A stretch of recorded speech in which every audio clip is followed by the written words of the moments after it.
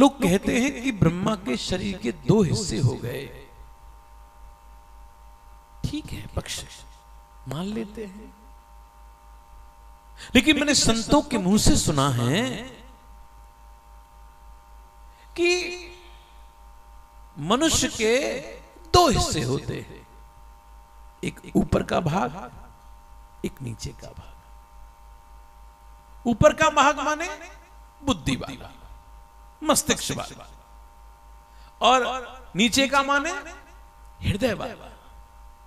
तुम ब्रह्मा जी से जोड़ा पैदा हुआ, ऊपर के भाग से मनु जी पैदा हुए और हृदय के पार्ट से शत्रुपा जी पैदा हुई। आपको कि महाराज, इसका तात्पर्य क्या है?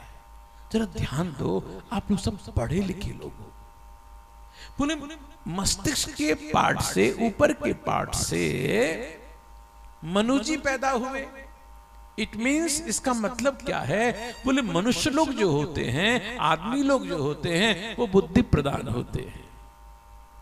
मनुष्य लोग जो होते हैं, वो बुद्धि प्रदान होते हैं। ये शत्रुपा कहाँ से पैदा हुई? बोले, हृदय से पैदा हुई। और माताएँ, महाराज, माताएँ बुद्धि प्रदान कम होती हैं। माताएँ जो हैं वो हृदय प्रदान होती हैं।